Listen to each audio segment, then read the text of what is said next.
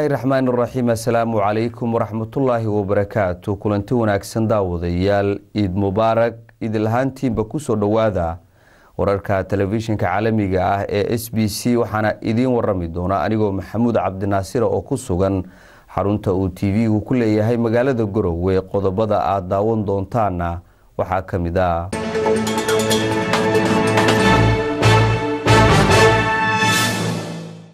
ra'iisul wasaaraha wadanka ethoobiya doctor abi axmed cali oo gaaray magaalada muqdisho isagoona halkaasi kula kulmay madaxweynaha dowladda soomaaliya maxamed cabdulaahi farmaajo.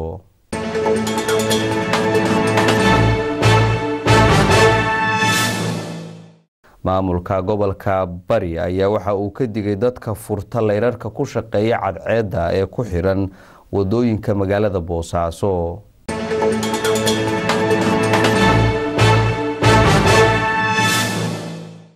soomaalida ku nool dalka yemen ayaa u dabaaldegaya munaasabada ciidulfidriga iyadoona colaado sokeeye ay ka taagan yihiin qeybo ka mid a dalkaasi.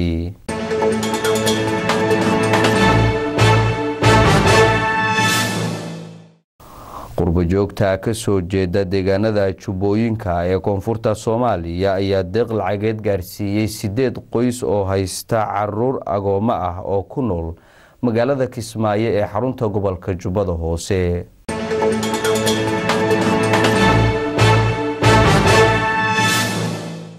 wararka dibadda ee aad ku daawan doontaan akhbaaraadkayagana waxaa ka mid a daawadayaal dowladda faransiiska oo magaalada baariis ka dhisaysa difaacyo adag oo dhalo markaasi ka samaysan.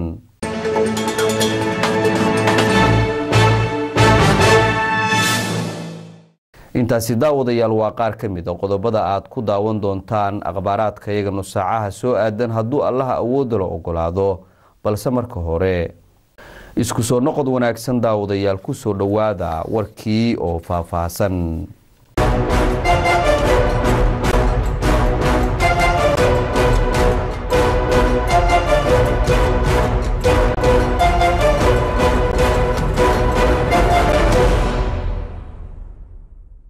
Ra'iisul wasaaraha dalka itoobiya doctor abi axmed cali ayaa maanta waxa uu gaaray magaalada muqdisho waxaana uu halkaasi kula kulmay madaxweynaha dowladda soomaaliya mudane maxamed cabdulaahi farmaajo waxayna ka wada hadleen xoojinta xiriirka labada dal. Waryaheena ibraahim xaaji yuusuf ayaa warkaasi magaalada muqdisho ka soo diray. Abiye axmed oo ah ra'iisul wasaaraha dalka itoobiya ayaa maanta soo gaaray magaalada muqdisho waxaana garoonka diyaaradaha aadan cadde ee magaalada muqdisho ku soo dhoweeyey madaxweynaha jamhuuriyadda federaalk soomaaliya maxamed cabdulaahi farmaajo waxaana isaga iyo wafdigiisa loo galbiyey ra'iisul wasaaraha dalka itoobiya xarunta madaxtooyada waxayna si wadajira ula hadleen warbaahinta. Madaxweynaha jamhuuriyadda federaalk soomaaliya maxamed cabdulaahi maxamed farmaajo ayaa ku horreeyey hadalka waxauna ku dheeraaday xiriirka ka wada dhexeeya soomaaliya iyo itoobiya iyo saaxiibtinimada fog ee labada dal wuxuu inta badan madaxweynaha jamhuuriyadda federaalk soomaaliya soo hadal qaaday arrimaha amniga ee gobolka iyo dagaalka dowladda ay kula jirta xarakada al-shabaab ee ka dagaalanta soomaaliya. Sidoo kale madaxweynaha jamhuuriyadda federaalk soomaaliya maxamed cabdulaahi maxamed farmaajo ayaa ka hadlay sida ugu muhiimsan ee labada wadan ay ugu wada shaqayn lahaayeen horumarinta arrimaha dhaqaalaha booqashada maanta waxa ay la xiriirtaa xiriirkeenna siyaasadeed dhaqaale iyo bulsho. Waxaan diyaar u nahay in xiriirkeennu uu u gudbo heerka labaad. Waa waajibina saaran in aan hubinno amniga nabadda barwaaqada labadeena dal aniga oo maaraynaya horumarinta dhaqaalaha iyo isdhexgalka bulshadeenna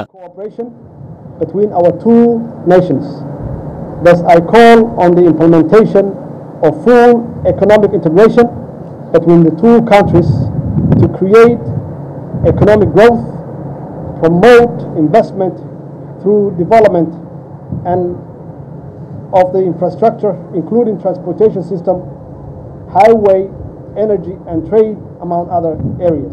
ra'iisul wasaaraha dalka ethoobiya abiy ayaa isaga oo ku bilaabay ereyo af soomaali ah wuxuu ummadda soomaaliyeed ugu hambeliyey maalinta labaad ee ciidulfidriga waxa uuna sidoo kale uu sheegay in soomaaliya ay ka soo gudubtay marxaladii adkeed wuxuuna ka hadlay imaanshaha muqdisho oo markii ugu horreysay uu yimid. Waan imaaday id mubaarak waxaan halkan oo ah dalkeennii labaad aan u joognaa dabaaldegga ciidulfitriga. Waxaan salaan idinkaga wadnaa shacabka dalka etoobiya taas oo ku socota shacabka soomaaliyeed. Iska warrama waan adiin imaannay ciid mubaarag soo dhoweyn wanaagsan. Waxaan rabnaa inaan ku bilaabo aniga oo qeexaya dareenkayga ku aadan soo dhoweynta qiimaha badan ee aan halkan iigu samayseen. Waana calaamad muujinaysa xidhiirka saaxiibtinimo adinka iyo shacabka etoobiya waadna ku mahadsan tihiin waxa aad samayseen.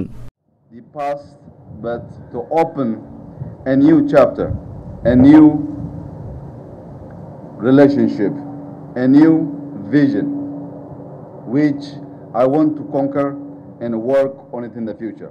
axmed abiya ayaa tan iyo markii loo magacaabay ra'iisul wasaaraha dalka etoobiya waxa uu booqasho ku tegay waddamada dariska la ah sida kenya jabuuti masar suudaan iyo maanta oo uu yimid magaalada muqdisho oo ah caasimada soomaaliya. Ibraahim xaaji yuusuf telefishinka s b c magaalada muqdisho. Maamulka gobolka bari ayaa waxa uu ka digay dadka furta ee ka ganacsada leyrarka ku shaqeeya cadceedda ee ku xiran qeybo ka mida waddooyinka magaalada boosaaso waryaheena yuusuf maxamuud. Yuusuf ayaa warkaasi boosaaso ka soo diray. Gudoomiyaha gobolka bari dor yuusuf maxamed wacays dhado oo boqolaal dadweynaha kula hadlayay salaada ciidda ee shalay ayaa sheegay in dadweynaha magaalada boosaaso looga baahan yahay in ciidamada ammaanka ay kala shaqeeyaan sugidda amniga. Sidoo kale gudoomiyaha ayaa ka hadlay askari dhowaan lagu dilay magaalada boosaaso qof baa intaa dhexdooda lagu dilayaa ciidamadii baa imaanayo amnigii baa imaanaya. Haddaad weydiiso suuraddiisu soo ahayd dharkee qabay qofkaa wax dilay qof sheegaya ma jiro. Bil ramadaan baynu soo dhaafnay. Ramadaan habeenadii ugu dambeeyey habeen saddexaad nin askariyaa la dilay goobtii baanu tagnay makhaayadii iyo intii joogtay. Waa ninkaasoo dhacay baan aragnay bay odhanaya ilaahay ka baqa. Waxa weeye naftaa go'day. Dee markhaati ilaa markhaatiga markhaatiga eeba iskale inaad maxaahday tilmaanto waxa weye saacaddaadii baad maxaahda dhimanaysaa waxba ku gaari maayo wallah waxa weye amnigii haddaynu sidaa masasiyo abeesooyin isugu qarinno. Dee annaga qoryaan maslena inaan ka nolo dulmayno baa laga yaabaa. Laakiin dee wax la hubo maaha waxaad samaysaan kiinaanu ka shaqaynaynaa horta. Markaanu kiina ka shaqayno baa kaawagu jiri karaa. Marka aynu ka wada shaqayno oo qof iyo labo iyo saddex iyo inan amnigii muxuu ahayday magaalada caasimadda wax walba yaaliin afartan iyo sagaalka qabiilo ay ku nool yihiin aynu amnigeedii ka wada shaqayno oo qof uga shaqayno qabiil uga shaqayn mayno qof qof aynu uga shaqayno. Sidoo kale gudoomiyaha gobolka bari yuusuf maxamed wacays ayaa sheegay inay jiraan kooxo tuuga ah oo xilliyada habeenkii furfurta leerarka cadceedda ku shaqeeya. Waxa uu sheegay inay jiraan dad loo soo qabtay iyagoo falkaasi ku jira dadweynaha ayuu ku baraarujiyey inaanan laga dimin iftiinka ay haystaan oo ay soo sheegaan. Ciddii wax u dhimaysa waxaa kaloo beryahan ma aqaan dadweynuhu say ugu warhayaan. Beryahan waxaa socotaa arrin kaloo aada u khatara oo waalidiinta iyo dadka aanu ka wargelinayno. Waxa weeye baalayaasha korontada oo karan aada u badan uu dabsaaran yahay baa waxaa u bareeray koox tuugaayo waxay goynayaan waayiradii maarta ahaa dad baa imika u xiran waxaan leeyahay dadka ka wargeliya. Waa dab qof naftiisa muxuu ahayde waayir dab xambaarsan u bareeraya oo mid dukaan ama bakhaar ama muxuu ahayde wuxuu fadhiyaa meel geeyasha uu kiiloogii ka siinayo afar dollar. Waxa weye naftiina ku muxuu ahayde haliginina waxba muxuu ahayde dawladda yeeli maysaan markaad jarajarada saartaan waa layni qabanayo waa waayirkaa muxuu ahayde xagga sare saaran. Arrintaa arrintaa waxaan rabnaa in dadweynuhuna gacan ka geyso yuusuf maxamuud s b c boosaaso soomaalida ku nool dalka yemen ayaa u dabaaldegaysa munaasabadda ciidulfidriga iyadoona colaado sokeeye ay ka taagan yihiin qaybo ka mid ah waddankaasi waryaheena maxamed jaylaani ayaa warkaasi magaalada sanca ee caasimadda waddanka yemen ka soo diray iyadoo maanta ay ku aasteysan tahay maalinta koowaad ee ciidalfidriga ayaa gebi ahaanba magaalada sanca laga dareemaya saasaanta ciidalfidriga waxaana si weyn u dabaaldegaya gebi ahaanba dadka ku dhaqana magaaladan sanca. Dadkan ku nool magaalada sanca waxaa salaada ciidalfidriga ku ogeen masjidka shacab ee magaalada sanca waxaana hambalyo iyo bagaadin u dirayaan gebi ahaan muslimiinta dunida ku nool iyo shacabka ku dhaqana dalkan yemen magacayga waa sacad muuse cali waxaan salaamayaa dhammaan shacabka muslimiinta dalka caalamka ku nool waxaan salaamayaa shacabka somalilan iyo dadka soomaalida iyo dalka yemanka jooga waxaan ku leeyahay ciid ciid mubaarak khaasatan waxaan salaamayaa waalidkayga aabba iyo hooyo iyo walaalahay yala asalaamu calaykum waraxmatullah ciid wanaagsan dhammaan waxaan halkan uga dirayaa ciid farxadda ciidda aan la qaybsanaya dhammaan ehelkayga qaraabada asxaabta dhammaan waxaa si gaar ah taaniyad ciidda u dirayaa ummad weynta soomaaliyeed meel walba ay joogto gaar ahaan waalidkayga walaalahay asxaabtay dhammaan qaraabada inta soomaaliya joogta inta yeman joogta dhammaan waxaan leeyahay ciid wanaagsan assalaamu calaykum waraxmat ullahi wabarakaatu halkan waxaan ka salaamayaa ummadda muslimiinta waxaan ciid mubaarak kulla caam antum bikhayriin waxaan naga salaamay halkan yeman baan joognaa. Waxaan noo soo dirayaa salaan aad iyo aad u qiimo leh maxamed jamaal oo joogo waddanka yeman qaas ahaan waddanka caasimadda sanca. Waxaan halkan tahniyadaa ciid mubaarak aan leeyahay ummadda muslimiinta oo dhan qaas ahaan ummadda soomaaliyeed. Kulli oo nin salaamiya wixii ehelada qaraabada iyo waalidiinta kulli aan salaamay asxaabteeda oo dhan.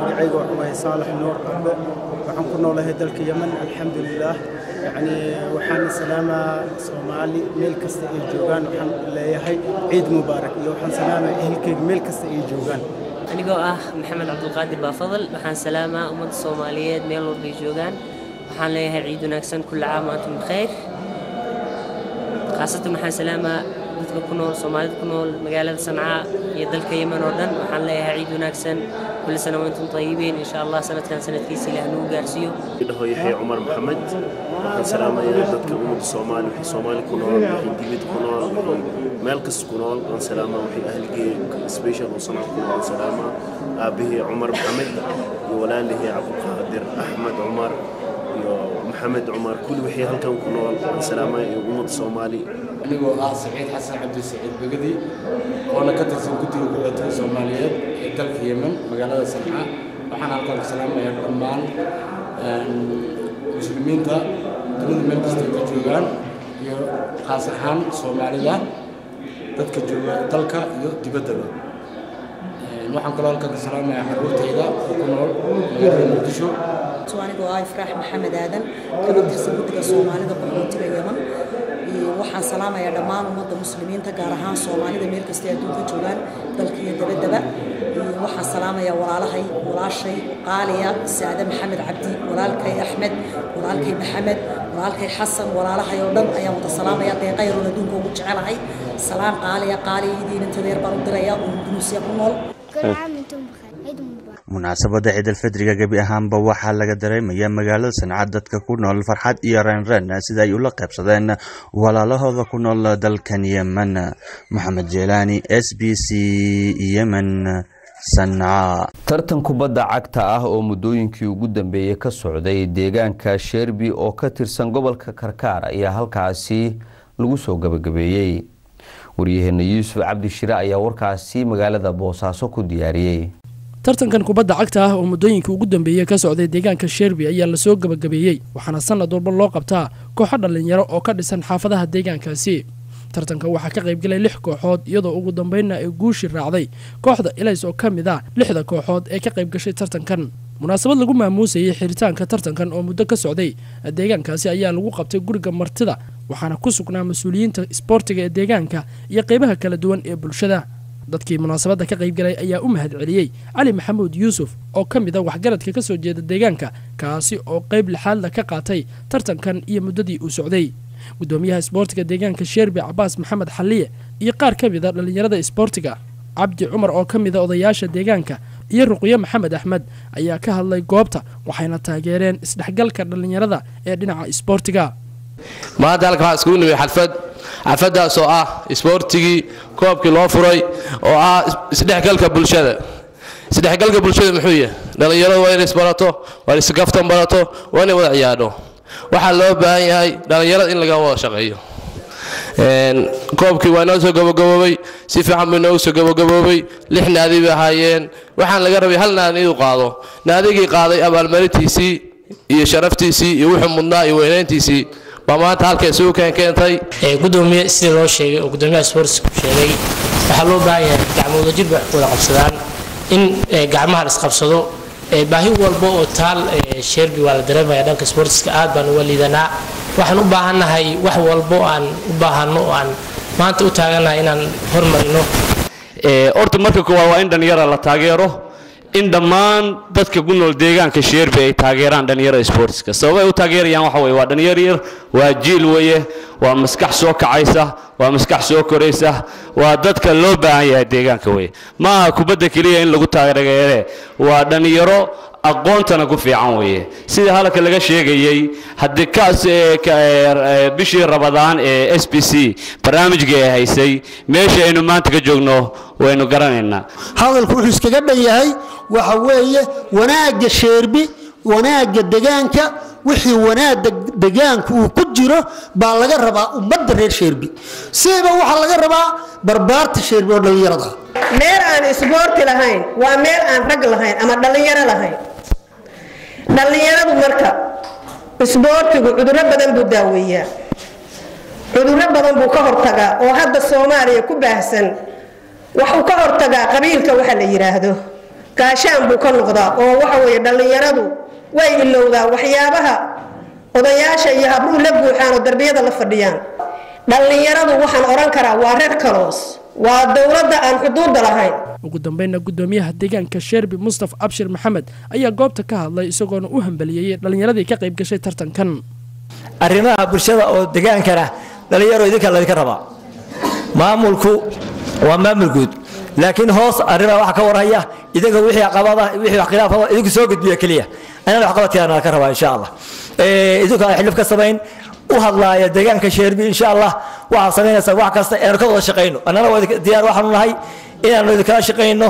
Wax kastoo caqabado idinku ah insha allah wixii kalaamka iyaga ah waanu ka qayb qaadanaynaa waa idinla garab taaganahay waa ka shaqaynaynaa insha allah qurbajoogta ka jeeda deegaanada jubbooyinka ee koonfurta soomaaliya ayaa deeq lacageed gaarsiiyey ku dhowaad sideed qoys oo markaasi haysta carruur agoomo ah.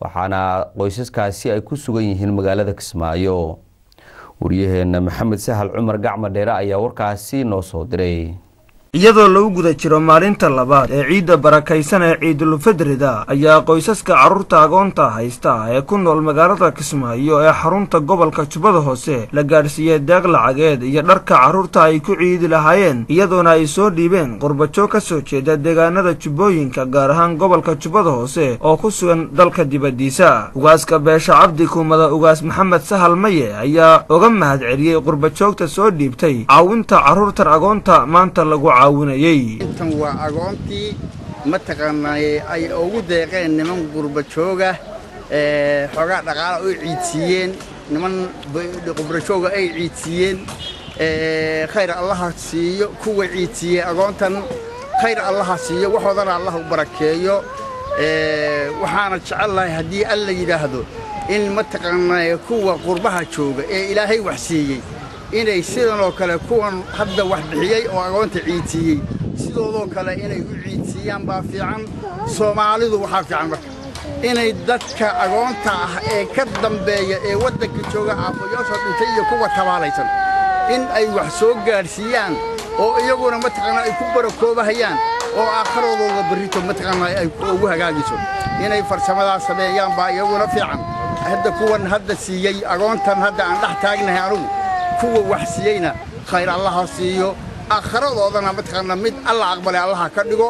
Wabilaahi tawfiiq. Wasalaamu calaykum waraxmatullahi wabarakaatu faadumo yuusuf khayre oo ka mid ahayd haweenka haysta carruurta agoonta ayaa dhankeeda sheegtay inay muhiim tahay in dadaalka noocani oo kaleeta ay sii wadaan qurbajoogtu si kaalmo ay ugu noqoto haweenka haysta carruurta agoontaahi waaynu salaamaynaa.